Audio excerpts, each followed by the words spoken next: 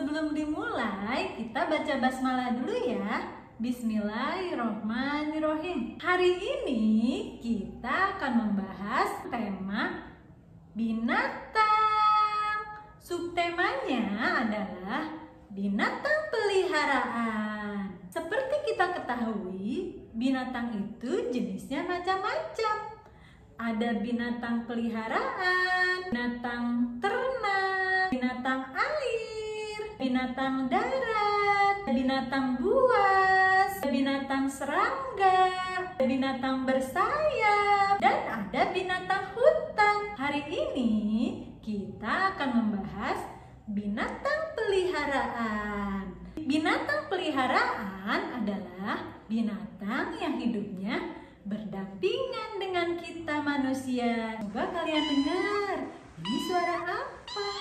Ini adalah kucing. Hurufnya adalah K, U, C, I, N, G. Kucing. Kucing ini memiliki empat kaki, memiliki dua mata, memiliki ekor, memiliki kumis, memiliki bulu yang sangat lembut. Kucing ada dua jenis, ada kucing betina dan kucing jantan. Kalau kucing betina dapat melahirkan anak, ya dia juga dapat menyusui anak-anaknya. Ini suara apa? Betul sekali, ini suara anjing. Kuk, kuk, kuk. Hurufnya adalah A, N, J, I, N, G. Anjing. Anjing memiliki empat kaki, dua mata, dua telinga, dan memiliki ekor. Makanan anjing adalah biasanya ayam, tulang, daging. Coba kalian dengar, ini suara apa? Ini adalah kelinci. Hurufnya apa saja sih? K, E, L, I, N, C, I. Kelinci. Memiliki telinga yang panjang, memiliki ekor di belakangnya, memiliki dua mata, memiliki empat kaki. Makanan kelinci adalah wortel. Kelinci ini berkembang biak dengan cara beranak. Dia juga menyusui. Coba kalian dengar, ini suara apa? Betul sekali, ini adalah suara burung. Bunyinya bagaimana ya? Hurufnya adalah B U R U N G. Burung memiliki sayap sehingga burung bisa terbang. Memiliki dua kaki dan dua mata. Burung ini bisa bertelur. Jadi dia berkembang biak dengan cara bertelur. Makanan burung adalah biasanya biji-bijian, jagung, cacing. Coba kalian dengar, ini suara apa? Betul sekali. Ini adalah suara ikan.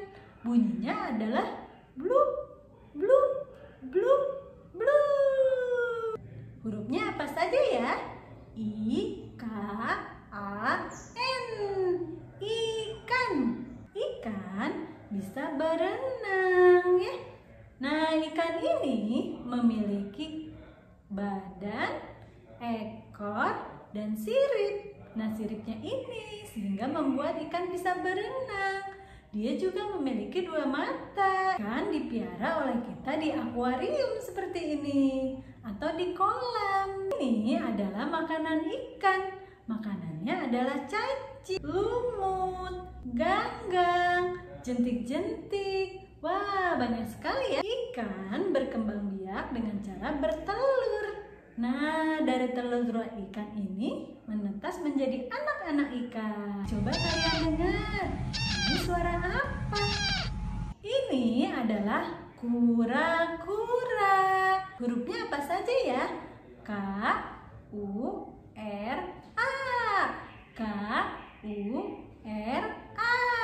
Kura-kura. Kura-kura ini dia berjalan lambat dan dia memiliki rumah di atas badannya. Namanya batok. Batok kura-kura. Kura-kura ini berkembang biak dengan cara bertelur. Makanan dari kura-kura adalah serangga, buah, dan sayur-sayuran. Kura-kura ini tidak memiliki gigi. Nah, dia memotong makanannya melalui moncongnya. Coba kalian tebak, ini suara apa? Ini adalah hamster atau hamster. Hurufnya adalah H, A, M, S, T, E, R. Hamster. Hamster. Hamster adalah binatang pengerat. Dia seperti tikus tapi lebih kecil ya. Nah, hamster ini memiliki empat kaki. Dia memiliki dua telinga yang berambut dan memiliki dua mata. Dia berkembang biak dengan cara beranak. Makanannya adalah biji-bijian ya. Alhamdulillah, hari ini kita sudah belajar tentang hewan peliharaan. Besok kita ketemu lagi ya dengan materi yang lain. Assalamualaikum warahmatullahi wabarakatuh.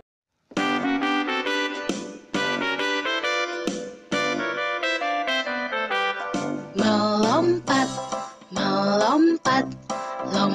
seperti kelinci. Satu dua, satu dua, melompat yang tinggi. Berenang, berenang, berenang seperti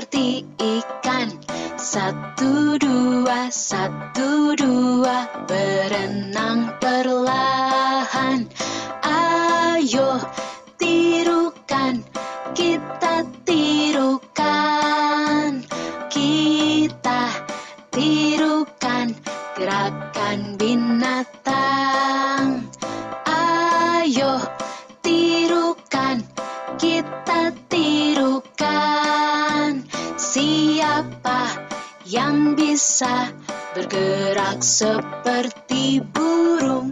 Terbang, terbang, terbang, terbang, terbang, terbang, terbang, terbang, terbang, terbang, terbang, terbang, terbang, terbang, terbang.